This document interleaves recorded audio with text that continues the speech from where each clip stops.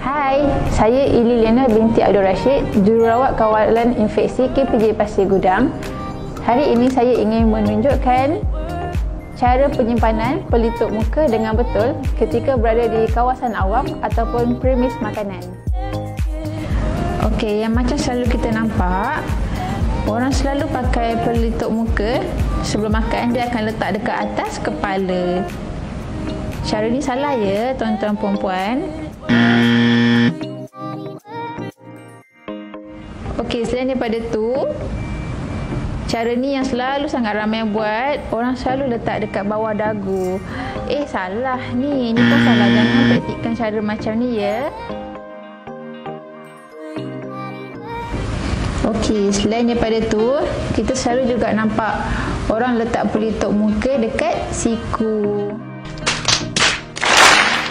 Cara ni salah ya tuan-tuan puan-puan.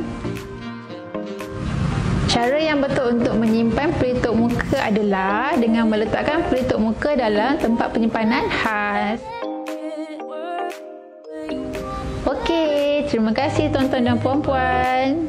Mari kita sama-sama praktikkan cara yang betul.